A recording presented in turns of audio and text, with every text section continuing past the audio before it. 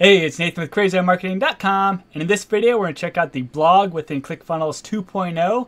Now, this blog is actually a fully functional blog. Much like WordPress is a great blogging platform, now ClickFunnels 2.0 also has a blogging platform that is near on par with a WordPress blog. So let's go ahead and get into it.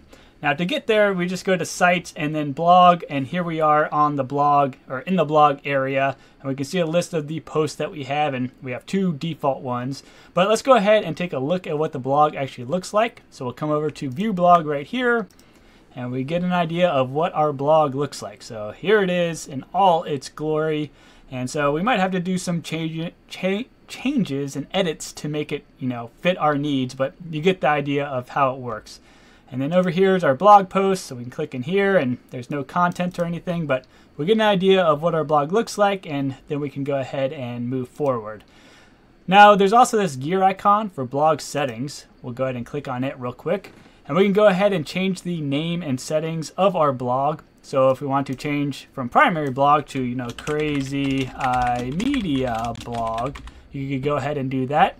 You could also update the path of your blog. So right now it's crazyeyemedia.com slash blog, but if you wanted it to be something else, you could change it. You could change the style of your blog as well. Now, I have another video on style, so I definitely recommend checking out that video if you haven't already. But we're going to go ahead and stick with the default style. But if you wanted to change the style or change your template, you could go ahead and do that if you want to that is a little more advanced because it does take some custom design and stuff like that. But anyway, it, it's out there. The function functionality exists. Here we get into SEO and sharing. And so this is what the listing would look like on like Google if somebody does a search or somebody posts a link on Facebook or X, then this is what would show up. So you want to have something, you know, enticing for somebody to click on for your blog default blog title, your description, and then you could also set a default sharing image. So this would be the image that pops up, you know, when somebody posts a link on Twitter or X or Facebook and uh, an image pops up, that's what this image is right here. So you want to go ahead and make sure everything looks good so that way if your your blog link gets posted, well then it will look nice on those social media sites and you know Google and Bing or whatever can go ahead and present your blog neatly and nicely. Then we also have categories right here, so you can go ahead and you know arrange or organize your blog posts into categories that make sense. So maybe you have a category for ClickFunnels 2.0. So all your ClickFunnels 2.0 articles can go right in this category and keep things nice and organized. Same concept with tags, so you could go ahead and group and organize things together with tags. And also you could go ahead and have authors as well. So you could go ahead and, you know, put yourself in here as an author, an image of yourself, so that way, you know, the blogs have like an author for the different blog posts. So you can go ahead and set that up right there. And then we can go ahead and update blog. So that's like the blog settings. Now let's go ahead and look at actually like creating a blog post. So we'll come to new blog post in the top right hand corner here. And we'll go ahead and do a title. So title of new blog post. This is a summary. We can go ahead and add a featured image. So I'm going to go ahead and just add a random image. I'm going to use one of these stock photo websites. And I'll go ahead and just select one of these images for a happy person because people viewing my blog post should be happy. So my featured image, SEO and sharing. So same concept right here. We can go ahead and have an SEO page title, description. We can change the path. So very customizable features similar to WordPress. Here you can go ahead and have your assign your author right here. So I didn't create an author, but if you want to, you can go ahead and create an author and assign it. Then here's your categories. I'll put it in the ClickFunnels 2.0. Here's the tags, so that we can organize them. And then we have advanced settings. We'll click on that real quick. So we could change the style of our individual blog posts as well. So if you want this blog post to have this template, then you can select that. Or you can just use the default style so that way it matches all your other blog posts. But there's that option. We'll go ahead and create the blog post and you can see that it creates one right here that is currently in draft. We'll go ahead and click into it. You can see all those settings again right here. So if you messed up on the first thing, you can go ahead and change it over here on the left hand side to make sure that it is accurate for what you want. And then right here is where we go ahead and create our content. Now I have a video on the ClickFunnels 2.0 page builder that I recommend checking out if you're unfamiliar with how this whole thing works, that video will explain it, but we just go ahead, we'll go ahead and add our section, our column, then we'll add a paragraph right here, and then we can go ahead and start top typing out our content. So this is my blog post. I hope you like it. I can go ahead and, you know, make stuff bold or underline or italic or whatever I want. I could go ahead and add, you know, an image element right here and I can go ahead and throw something in the middle of it. I'll throw this computer picture and so on. So you go ahead and you create your blog post just like that and we save our changes. And we can also preview our blog post as well. So we can come here and it gives us a few different options. So we can look at the content, the footer, or the full context. So I usually go with full context so that way I can see what it looks like within my whole blog theme. So I can see if it looks nice. So this is what it would look like right here. So I have my featured image. There's this sidebar over here that maybe I want to change. And I'll show you how to do that in just a second here. But here's the, then the content of my post and I can actually edit it, you know, within this preview. So I can see exactly what it'll look like, you know, when I actually go ahead and publish it. So there's a, a list right there that I went ahead and added. And so you can see what your blog post will look like. So once we're happy with it, we'll go ahead and save changes again and then we can go ahead and publish it when we're ready. So I'll click on publish and it gives us a couple different options. So are you sure you want to publish this blog post? We can publish it immediately or we can go ahead and schedule it to publish at a later date and time. So that's that's a nice feature. Again, like I said, it's pretty pretty on par with WordPress and it's nice that they include it within your ClickFunnels 2.0 plan. All right, so anyway, I'm going to go ahead and publish it now so that way we have it live and there we go, it is published. So I'll close out of here and then I can go ahead and open this in a new window and it should bring me to my blog post. And so here I am on my blog post and there's my title of new blog post and it says unpublished right there. However, I just refreshed the page and it updated it with the date. So there's the date and then we can see the breadcrumbs. So it's under the blog, ClickFunnels 2.0 category and then the title of the blog post. There's my featured image, here's my content and all this other stuff.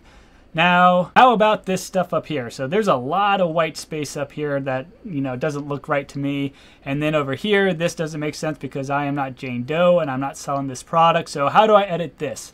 Well, it comes down to your theme. And I have another video on the theme settings, which I recommend you check out. But I'm going to cover it real quick right here so you can see where it is in case you are unsure. So I'll come back to my ClickFunnels dashboard and I want to go to my site and I want to come over to customize right here and I'm going to come over to blog and blog post and I can see my blog post layout right here so there's a bunch of white space and I'm like oh that's that's way too much white space so I can come in here and nope I don't want to edit the top margin and I can work to adjust some settings so let's go ahead and look at this thing so I'm going to come to section right here and see if I can find what is causing all this padding. And so there we go. I adjusted my padding right there so it's less white space. Let's go. Maybe there's some row padding. There's some padding on the row. So let's clean that up. That padding, padding top and bottom. So there we go. And then I've got some a space or something right here. It's published date. Let's look at that real quick.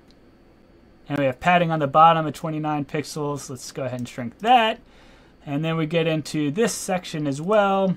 And I want to go ahead and change my padding top a little bit, pull that up. My padding bottom maybe a little bit, pull that up. And then I get to my row and I want to go ahead and change my padding top here. And there we go it's a lot tighter now. And let's say that I want to include my post image in my blog post right? I have it right here at the top and maybe I don't like the look of that. So let's go ahead and delete that out of there. And then right here is my content body. So this is where my blog post is going to be and then over here on my right hand side is that, that sidebar, right, with Jane Doe. And so I could go ahead and change this to be, you know, myself. And I can offer my products or services over here or whatever makes sense, you know, for my business. So let's go ahead and delete this out of here. And I'll go ahead and change the name. Hi, I am Nathan. And I'm like, cool, that looks awesome. I'll go ahead and click save. And then we'll come over to our blog post. I'll hit Control F5 to do a refresh. And now I can see my blog post. I have a lot less white space at the top here. Here's the title, the date, the breadcrumbs, and then right into the content. And then I change my sidebar over here. So I clean things up so it looks nice and neat for me and my personal preferences. Now maybe also I want to go ahead and drag these breadcrumbs to the bottom of my blog posts. I don't want them at the top. I can go ahead and do that and I might need to add some white space or a separator or something like that. So let's add some top padding and I can go ahead and save and go ahead and refresh again. And there we go. So it's not perfect, obviously, because I was just doing things real quick, but I think you get the idea on how to create a blog post and then how you can go ahead and update your theme so that way your blog posts display properly. And hopefully this is all making some sense. Now there's a couple other things to talk about. So right here, the breadcrumbs. So if we come back to the ClickFunnels 2.0, we get to the blog category page. So this is what the blog category page looks like. And so if we come back into our theme, we see the blog category page. And right here, we could go ahead and update, you know, how we want this to look. So if it's got weird white spacing or something, we could go ahead and change it. Like let's say I want to have it say fish sticks at the top of the page for whatever reason. Like that doesn't make sense, but you get the idea. I can go ahead and customize it. So now it'll say blog ClickFunnels 2.0. Now it says blog fish sticks. And for whatever reason, this didn't write, maybe because I have a space or something like that. Let's try it like this, and we'll try it again. And for some reason, the merge tag stopped working when I put text after it, so maybe that's just something to be aware of. So if I wanted to write fish sticks on my site, I need to go ahead and do it another way. So I might clone this and type fish sticks here, fish sticks. And then save it, and then hopefully the merge tag or short code would still keep updating to say the category that it is in.